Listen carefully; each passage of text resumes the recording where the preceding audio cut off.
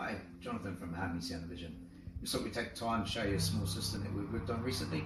Uh, this is one that a customer had equipment from a previous uh, property that they owned, um, so we helped uh, get this installed for them. This is a 7.2 system, so we have seven speakers, uh, three at the front, two subwoofers, and then four speakers placed around the uh, back of the room. So two on the side, two in the rear.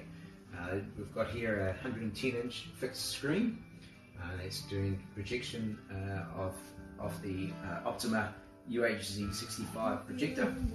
So it's giving a great picture, great little system this one. Running Jamo speakers at the front there, along with uh, your complete system out the back, which behind the screen there is another little room which is carrying all the equipment.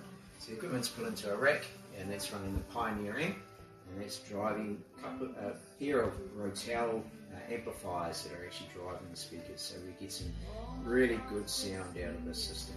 It's got lots of power and it's just really driving the system really well, really loud, really hard, but very clear. Um, so it's a very nice little system this one.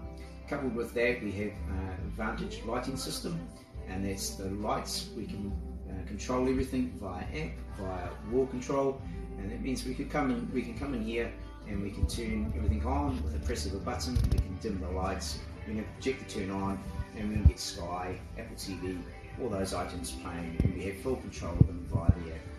So it's been, been a very good system to work with. Um, really nice, really great system. The customer really enjoys it. So we hope you like that, uh, and we look forward to working with you in the future. Thank you.